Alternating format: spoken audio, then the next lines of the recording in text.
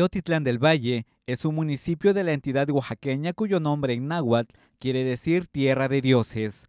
Es un lugar famoso por la calidad y belleza que tienen sus artesanías, principalmente los textiles, que son coloreados con refinadas técnicas que emplean elementos naturales.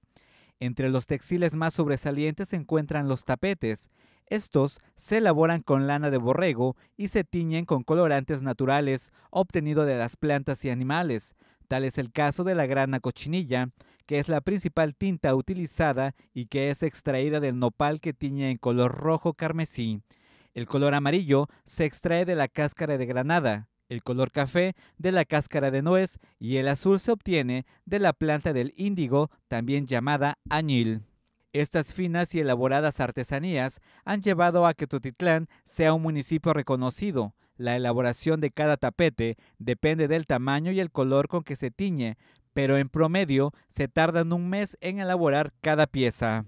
El proceso de elaboración de esta magnífica obra de arte es 100% manual. Los artesanos tienden a crear sus propios diseños y a determinar el color y el tamaño. Además de los tapetes, también en esta región se elaboran bolsos, rebozos, zarapes, gorros, llaveros y muñecos de lana. Actualmente en Oaxaca, la artesanía textil proviene de las distintas regiones del estado. Se identifican por sus diseños y colores de gran originalidad, pero en este municipio existen muchas familias que se dedican a esta actividad artesanal desde hace años. Su técnica y sobre todo el amor al textil lo han transmitido de generación en generación.